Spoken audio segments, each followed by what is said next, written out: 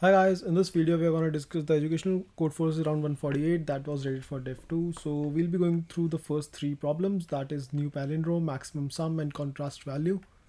I won't be going through the problem D1 because wasn't able to solve it myself and apparently I'm stupid enough. So let's move ahead to problem A. So the problem A is fairly simple. So what they're saying is that they have provided you with a string S, right? And that is for sure a palindrome. So string S is a palindrome now what we have to do is we can rearrange the letters and we have to make another palindrome from it, which obviously shouldn't be this uh, shouldn't be similar with the initial uh, string itself, right? If we can make another palindrome, then we have to print a yes, else we have to print a no. So yeah, this is the uh, this is the problem. Now how would we do it? So right over here, what we can observe is that in what cases we cannot construct a different palindrome what from what's given to us. So one case is when, wherein all the digits you have is similar, right? So if you have all A's, no matter how you arrange it, it's all, uh, always gonna be all A's, right?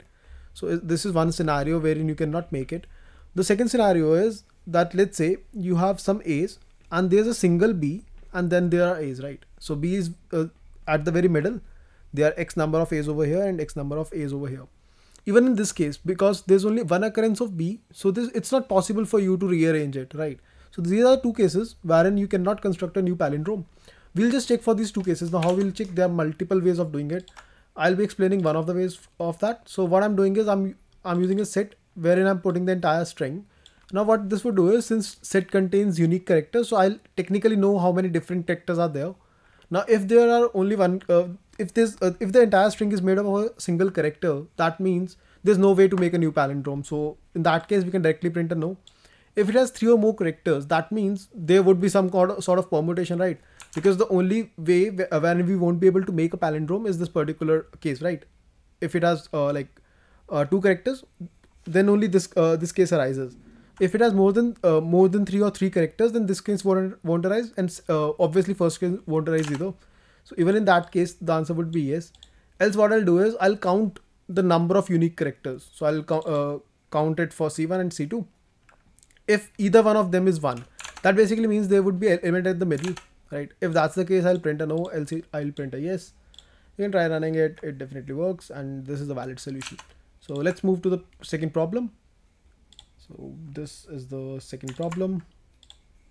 So the problem's name is maximum sum. What the problem states is that we have been given with the array A. Now what we can do is we can from a uh, from that given array at any time we can either remove the maximum element or we can remove the minimum elements from it, right? The, thing is that uh, we have to perform this operation exactly k times. So if you think about it, if you are having this particular array, let's say 2, 5, 1, 10, 6. Now if I say that, okay, remove one element, then you can either remove 1 and 2 from it because these are two uh, minimum elements in this, or you can use, remove a 10 and the remaining uh, array that would be left after uh, doing this operation k number of times, we need to print the sum for it. So for example, in this case, the sum was 21 and how was the sum 21? So over they are saying that if we remove 1 and 2 from over here, then we get a sum 21. If we remove a 10 from it, that is the maximum element, then we get a sum 14. Since we have to maximize the sum, hence the answer is 21. Now how would we do it? Uh, this is also fairly simple question and uh, just requires a basic intuition. So what we can see over here is that let's say this is our array? And let's sort it. So let's reverse sort it maybe. So if we reverse sort it, then these are the biggest elements. Now let's assume that these are the elements that I want to include. These are the elements, right? So there would be some elements to the right of it that I'm not including into my array. Now how many elements are these gonna be? Now since I already told that we have reverse sorted it or we have sorted it in descending order, that basically means these are the smallest elements right these are smallest elements if I want to remove these elements from my array then basically its count would be 2 into k. Right? So 2 into k elements would be over here which I have removed and I've only kept the uh, largest elements right? Now let's say uh, I want to remove one of the elements from this array. So this sum I'll already know this I can get in order of n. That's not a problem right now at least right? I can get this in order of n. And now I want to check that uh, what's the other area I can get. So one uh, uh, next possibility would be, let's say there are some elements over here, which I had not initially considered, right? Now I can say I'm going to remove this element. That is the maximum element I'm having right now, right? And instead of this, now I can accommodate two more elements, right? Because I'm removing a, uh, initially I said that I'm gonna use uh, k operations. In k operation, I'm gonna remove the smallest elements, right? And now if I'm I'm saying that okay, I'm fine with removing one of the greatest elements, that basically means I now can accommodate two elements more, right? Because in one uh, one step you could have either removed two greater elements, two greater L's, or oh, sorry, uh, two smaller elements or one greater element, right? So initially we were considering that we are removing all the smaller elements. Now if we say that, okay, I'm going to remove one greater element. So instead of that, we can add two smaller, right? So I'll remove this. I already know the sum for this, so I can subtract the sum. Sum minus is equal to, let's say, area array of uh, left because this is the left limit, right? And instead of that, now I can add two elements that are over here, right? So I'll add this and I'll add this. Make sense? And let's say this was the limit r, this was r, right? So I can say I, will add array of r plus 1 and I'll, I'll add array of r plus 2. I'll keep doing it. So this would technically become a sliding window. The only uh, difference would be that sliding window is most of the time constant. So this is your, uh, so basically the way sliding window works is that let's say this is your array, right? So your sliding window would okay let's just mark some points like this right so your sliding window would be over here then it will keep continuing something of this sorts right so it keeps moving like this the only difference over here is that now your sliding window as it moves via step 1 to the right or uh, as its left limit moves via step 1 right as soon as this becomes the limit then its size increases by 2 right so to the right it engulfs two more elements to it I hope this logic was clear. Let's look at the implementation. The implementation is simple for this. So yeah, uh, what I'm doing is firstly I'm reverse sorting it as stated. Now I'm gonna say that what is the array that I'm gonna consume. So the array is, uh, would be represented by uh, L is equal uh, L is equal to zero. That is the leftmost element to R minus uh, n minus two into k. So basically this is the rightmost limit. Right and over here you should uh, understand that I'm saying that array of L comma K, R is there. So this is a round bracket that basically means that rth element or the n minus 2 into kth element is not included. For example, over here, let's say k was equal to 1, then I would have said n minus 2, right? So basically the n minus 2 element won't have been included because if you know we are using zero base indexing and n, uh, n minus 2 and n minus 1 are the respective last elements. So these two elements are not inclu included, right? Now I'll take the sum. So I'll use the STL functionality for that. I'll take the sum. So, and after that, I'll start traversing till the time my R is less than n minus 1. Now why n minus 1 over here? Because I at least want two elements uh, to be that to the right, uh, to the right of me, right? So rest is fairly simple. As I already stated that you'll add the two elements to the right. You'll increment right as well. And then you'll uh, subtract the element to the left of you or to your extreme left and you'll update your rest if you are getting a better sum right now and then you'll print it so if I run it it works yeah now let's move to the last problem for the day. Uh, the last problem is contrast value. The problem states that for an integer of array a1 up to uh, a1 a2 a3 up to so on an right? Let's call the value a1 minus a2 plus a2 minus a3 all of these are absolute terms right? Uh, to be the uh, contrast of the array. And they have also said that the uh, then the contrast of an, uh, an array of size 1 is actually 0 so that would basically mean that if you are having an array with only one element now there's no way you can subtract another element from it because you are having a single element right so in that case its contrast is 0 now we have to uh, print, uh, we don't even have to print the array, we just need to tell that what would be the size of the minimum array possible, right? Which has the same contrast as that of array A. Now how would we do it? A very simple observation can help over there. Although the implementation is a bit tricky, not like too very hard, but yeah, a bit tricky. As it's possible to do it uh, in the wrong fashion. But the concept is fairly simple. So what they're stating the contrast to be A1 minus, uh, uh okay, A1 minus A naught plus a2 minus a1 plus a3 minus a2 a3 minus a2 yep. So on to right.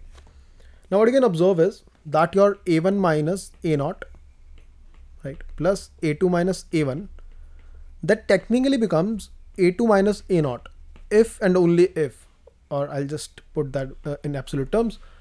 This becomes this if and only if you have a single kind of a slope. Now what do I mean by that? Now let's say your uh, this is your graph right?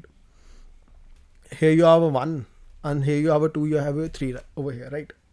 Now if I say 3 minus 2 minus 1 right or I can say 3 minus 2 plus 2 minus 1 this technically becomes equal to 3 minus 1 right? Because you can say that okay, I'm having a minus 1 over here and a plus 2 over here. Oh sorry minus 2 over here and a plus 2 over here. I can cancel them out. So eventually I'm left with the n terms. So basically if you are having any number of elements which are either in the increasing order or in the decreasing order right? Then you can club them together. So if there are n elements or there are x elements in this particular line so you are having let's say 1 followed by a 3 maybe like 4 then a 10 then a 15 so you can club them together so the entire uh, contrast as they said over here, the entire contrast would actually be given by 15 minus 1. So the minimum number of elements required to represent this contrast is actually 15 minus 1, right? Cool enough. Now we, uh, we know that fact, but how is this, uh, this fact useful for us? So since we had to print the minimum number of elements required to print this contrast, so we can say, okay, uh, only two elements would be uh, required to represent this. But wait, what would happen in case of a declining graph? The same thing would happen. Now let's say here was 15, here was 10 maybe 6 maybe 5 maybe 1 right? So you can also represent this contrast by 15 minus 1 right? But you observe one thing over here. You'll say that okay I need a 1 then I need a 15 so as to represent this right? But in order to represent this entire thing you'll only need 1 now because 15 is already there right?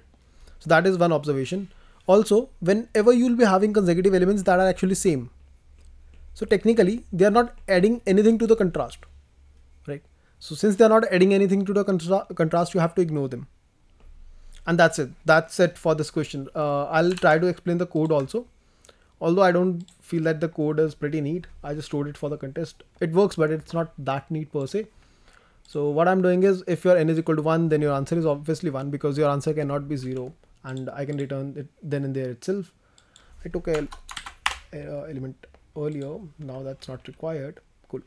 And then I'm saying that I'll start from the very left. So basically left limit, uh, limit which is actually zero. I'm going to start from that. And then I'm going to see that if all the elements I'm observing, if they're same, right? Then as I said, they don't add anything to the contrast. So it's better to ignore them. So I'm going to ignore all of these elements. Now it's possible that all the elements were same. I came to the till the last, right?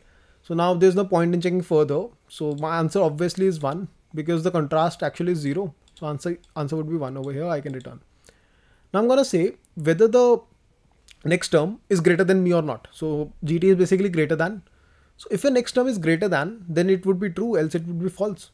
And this is the results I'm setting. So initially it is one because you at least require one element to start with. Okay, element to start with. Right. Then what I'm gonna say is the uh, same thing I'm gonna do that till that I'm getting same elements, keep incrementing it because I'm gonna ignore them anyway, right?